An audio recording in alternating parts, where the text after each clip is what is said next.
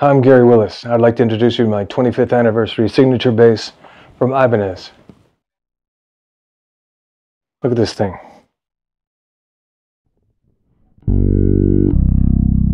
Let's check it out. One, two, three, four, five, six.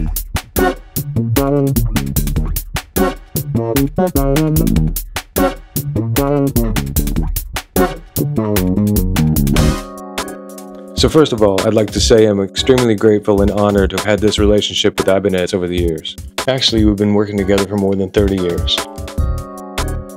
So it all started in the early 90s and the first bass they made for me had this nice silver metal flake finish. So this bass is kind of a throwback to those beginnings. And it was a proud moment for me when we released that first bass. So since the 1950s, bass design in general has remained pretty much the same. I mean, you have your basic elements, and that's wood, strings, and a pickup. Then over the years, we've seen more pickups, more strings, more sophisticated electronics, but the basic elements are still there. To me, what matters in a bass are the detail. We can start with this body. Made of light ash, super resonant, and it's bolt-on to allow more resonant wood throughout the body. And then there's this gorgeous finish. It's called Silver Wave Burst Flat and that fades to the black finish that's silver stained so it gives you this sort of icy cool look with a soulful interior. And of course the ramp has the same finish. Then we've got a three-piece bolt-on neck, thin and easy to play with titanium reinforcements. One important detail is the deeper cutaway to allow your fingers to stay parallel to the fret lines up around the 24th fret. And yeah, it has fret lines, 24 of them. Two little details you might not notice at first, but you'll come to appreciate are the two strap buttons at the bottom. This makes the bass very stable when you need to lean it on anything. The custom single GWB Bartolini pickup is radius to match the neck. It's a linear humbucker and individual magnet locations shift away from the bridge as you get to the G string, which helps warm up the higher notes. And then there's the ramp, which is also radius to match the neck. It gives you a consistent touch from playing over the pickup to playing close to the neck, so you can get different tones while keeping the feel the same. It's also adjustable so you can control how much string access your fingers need for your sound. Then there's a standard style bridge with 16.5mm string spacing, and this one has that nice looking black and chrome combo.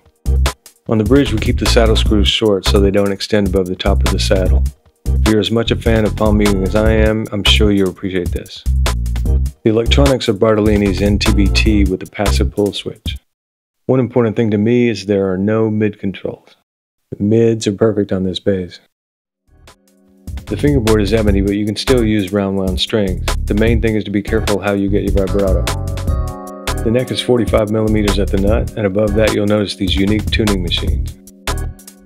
I've always preferred a light bass, but it's difficult to balance without having to support it with your right arm. So back in the 80s, I adapted some plastic radio knobs and ended up with much lighter tuners on my bass.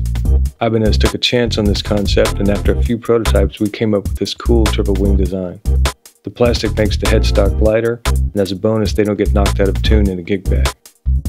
It also makes changing strings a breeze.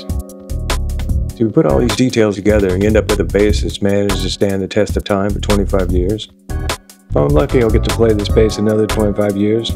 Meanwhile, I just want to give a huge thanks to Ibanez for making all this possible, and I'll see you on the next anniversary.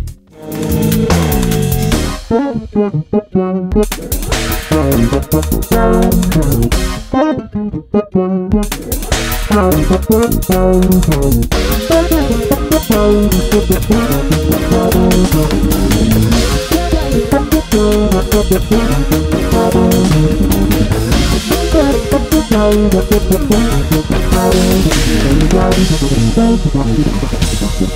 you.